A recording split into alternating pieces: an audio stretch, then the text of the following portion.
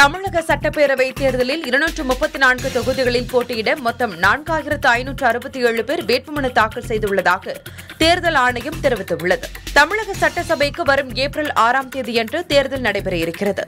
இதை முன்னிட்டு கடந்த பனிரெண்டாம் தேதியன்று வேட்புமனு தாக்கல் தொடங்கியது.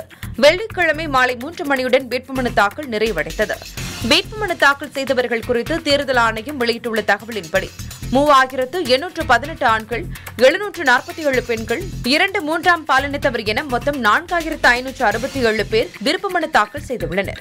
கடைசி நாள் என்பதால் சுயேட்சைகள் அதிகமாக மனு தாக்கல் செய்துள்ளனர். கன்னியாகுமரி மக்களவை இடைத்தேர்தல் மற்றும் புதுச்சேரி சட்டமன்ற தேர்தலுக்கான வேட்புமனு தாக்கலும் வெள்ளிக்கிழமையுடன் நிறைவடைந்துள்ளது.